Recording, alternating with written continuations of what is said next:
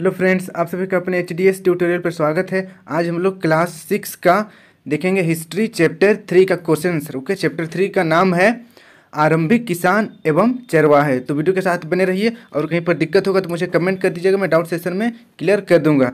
तो देखिए, पहला नंबर रिक्त स्थानों की पूर्ति कीजिए। क नंबर क नंबर का क्वेश्चन देखिए। आदि मानव ने सर्वप्रथम खालिस्तान को पालतू बनाया। तो इसका आंसर हो जाएगा जंगली कुत्ता। ओके आदि मानव ने सर्वप्रथम जंगली कुत्ता को पालतू बनाया। फिर देखिए, ख नंबर।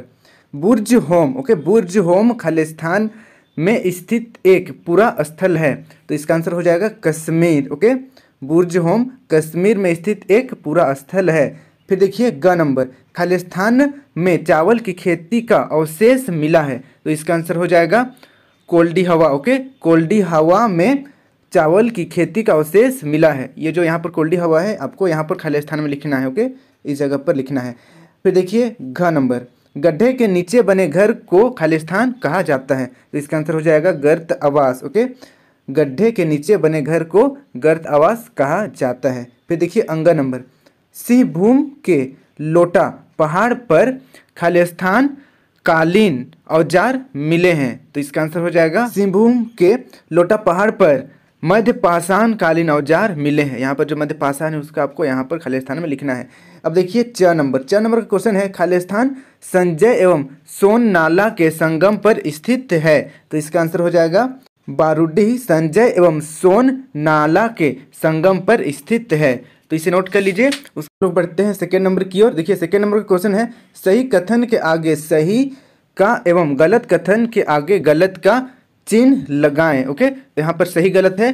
तो देखिए, क नंबर है, आखेटक, खाद्य संग्राहक, झुंड में रहा करते थे। तो इसका ये जो लिखा हुआ है, आखेटक, खाद्य संग्राहक, झुंड में रहते थे, ये बिल्कुल सही है ओके वे हमेशा ग्रुप में रहते थे, जहाँ खाना मिला, वहाँ चले जाते थे। खाना खत्म होने के बाद वहाँ से पलायन करके दूसरे जगह चले जाते थे भोजन की तलाश में। क्लियर है? तो ये सही है।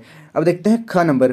कृषि की शुरुआत पूरा पाषाण काल में हुई थी ओके कृषि की शुरुआत पूरा पाषाण काल में हुई थी, यह गलत है ओके अब देखिए, ग नंबर। चिरांद बिहार में स्थित एक पूरा स्थल है तो यह सत्य है ओके यह बिल्कुल सत्य है। अब देखिए, मेहरगढ़।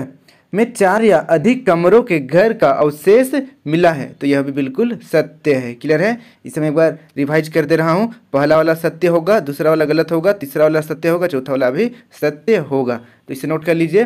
अब हम लोग बढ़ते हैं क्वेश्चन आंसर की ओर। प्रश्नोत्तर का पहला नंबर देखिए। किसान एक स्थान पर क्यों रहा करते थे, ओके? किसान एक स्थान पर क्यों रहा करते थे? तो इसका उत्तर देखिए, कालांतर में लोग बीजों को एकत्र कर वर्षा के दिनों में अपने गुफाओं यानी कि घरों के समीप बुआई कर उचित देखभाल करना शुरू किए ताकि वे पौधे बढ़ सके और उनके बीज पक सके। इस प्रकार वे धीरे धीरे किसान बने। कृषि की शुरुआत से उनके जीवन में बड़ा बदलाव आया। हम जानते हैं कि बीज बोने से फ़सल तैयार होने तक में वक्त लगता है। उसकी उचित देखभाल करनी पड़ती है। यही कारण है कि वे अब एक ही स्थान पर रहने लगे, ओके? तो इसे नोट कर लीजिए, खेती करने के लिए एक स्थान पर रहते क्योंकि खेती का देखभाल ही करना पड़ता है। इसे नोट कर लीजिए, हम लोग बढ़ते हैं सेकेंड नंबर की ओर। सेकेंड नंबर का क्वेश्चन है, पशुपालन से आदि मानव को क्या लाभ हुए? तो देखिए, पशुपालन यानी कि पशु को पाला आदि मानव लोग तो आदि मानव को क्या लाभ हुआ? इसका उत्तर हो जाएगा, देखिए आदि मानव सबसे पहले जंगली कुत्ता को पालतू बनाया होगा। देखिए, यहाँ पर गया, थोड़ा एक्स्ट्रा लिखा गया है, इसको आपको नहीं लिखना है, ओके? इसको छोड़ देना है। अर बार, मैं शुरू से रीड कर दे रहा हूँ। आदि मानव सबसे पहले जंगली कुत्ता को पालतू बनाया होगा। धीरे धीरे वे गाय, बैल, भेड़, बकरी एवं सुअर आदि का पालन करने लगे। अब वे पशुपालक कहलाने लगे। पशुपालन का उनके जीवन में बड़ा प्रभाव पड़ा। भोजन के रूप में वे जानवरों से दूध, मांस प्राप्त कर सकते थे। इस प्रकार जानवर उनके लिए चलते फिरते भोजन के भंडार थे।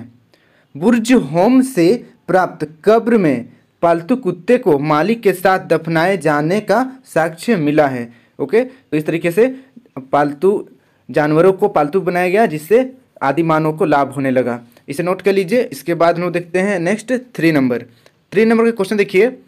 थ्री नंबर का क्वेश्चन है, बसने की प्रक्रिया से पालतू जानवरों में क्या परिवर्तन पाए गए? तो देखिए, लोग एक जगह बसने लगे तो उससे पालतू जानवरों में क्या परिवर्तन आया?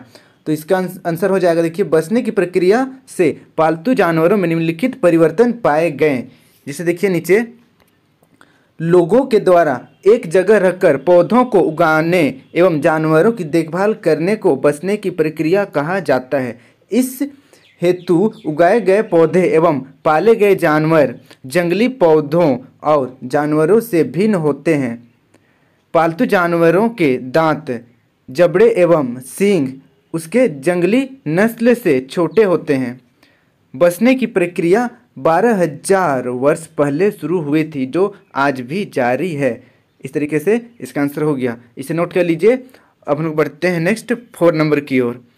फोर नंबर का क्वेश्चन है पुरातत्वविद कैसे पता करते हैं कि कोई स्थल पूरा स्थल है? तो देखिए पुरातत्वविद कहने का मतलब आ, उन लोगों को कैसे पता चलता है कि कोई भी स्थल बहुत पुराना स्थल है? ओके ना? ये इतना साल पहले है उतना साल पहले है कैसे पता चलता है?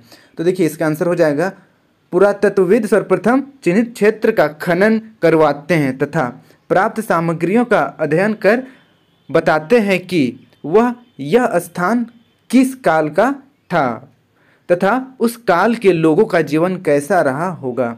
भारतीय उपमहाद्वीप के कई जगहों पर पुरातत्वविदों को कृषि तथा पशुपालन के कई साक्ष्य मिले हैं जो बिहार, झारखंड तथा दक्षिण भारत में पाए गए हैं।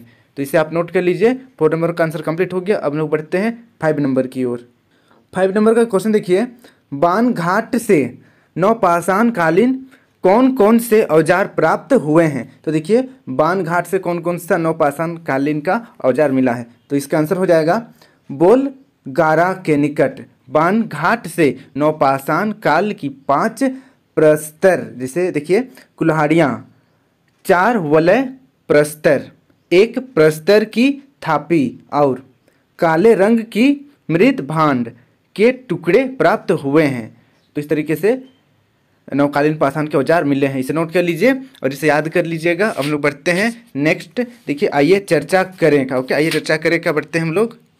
देखिए, पहला क्वेश्चन है पुरापाषाण काल के लोगों के जीवन एवं नवपाषाण काल के लोगों के जीवन में क्या भिन्नताएँ मिलती है। तो देखिए, पुरापाषाण काल में और नवपाषाण काल में जो लोग थे, उनमें क्या क्या? भिन्नता थी। इसको लिखना है। तो देखिए, ये चर्चा करें क्वेश्चन है तो चर्चा करें, थोड़ा सा लंबा ही रहता है तो ये लंबा क्वेश्चन है। आप चाहे तो इसका छोटा भी लिख सकते हैं और चाहे तो पूरा भी लिख सकते हैं। मैं बताऊँगा आपको कितना छोटा लिखना है। तो देखिए, इसका उत्तर, पुरापाषाण कालीन जीवन, ओके? देखिए यहाँ पर। लोग धूप, वर्षा और ठंडक प्राप्त ठंडक तथा जंगली जानवरों से बचने के लिए गुफाओं तथा कंदराओं में रहते थे। जिन स्थान पर मानव रहते थे, उन स्थानों पर अनेक प्रकार के औजारों जैसे पत्थर के कुल्हाड़ी तथा भाले के अवशेष मिले हैं। वे अपने भोजन की खोज में इधर उधर भटकते रहते थे। लोग खाने के लिए जंगली जानवरों का शिकार करते थे। मछलियों और चिड़ियाँ पकड़ते थे। फल, कंद, मूल, दाने पौधे, पत्तियाँ, अंडे इकट्ठा करते थे। तो चलिए, आप चाहे तो अगर आपके लिए लंबा लग रहा है तो आप यहाँ तक लिख सकते हैं, ओके? इसका आंसर यहाँ तक भी लिखेंगे तो चलेगा।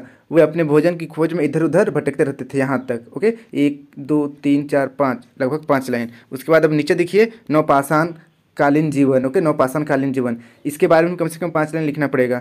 इस काल में कृषि, पशुपालन तथा आग के प्रयोग ने मानव को अस्थायी जीवन के लिए प्रेरित किया होगा। और वे जगह जगह घर बनाकर रहने लगे।